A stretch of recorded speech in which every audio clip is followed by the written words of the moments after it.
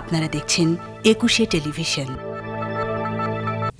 বাইশ অক্টোবর থেকে শারদীয় দুর্গোৎসব শুরু হওয়ার কথা থাকলেও মৌলভীবাজারে সতেরোই অক্টোবর থেকে শুরু হয়েছে আগাম দুর্গাপূজা।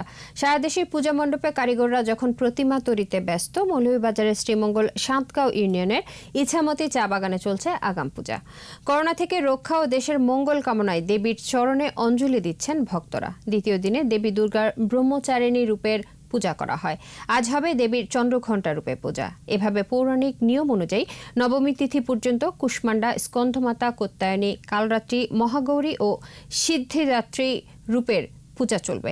সিলেট বিভাগে এই মণ্ডপে দশ বছর ধরে আগাম দুর্গাপূজা অনুষ্ঠিত হচ্ছে।